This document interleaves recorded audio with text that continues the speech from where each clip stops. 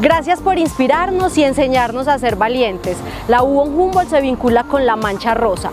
Queremos apoyarlas y les pedimos a todos que se vinculen porque sabemos que ustedes luchan con amor.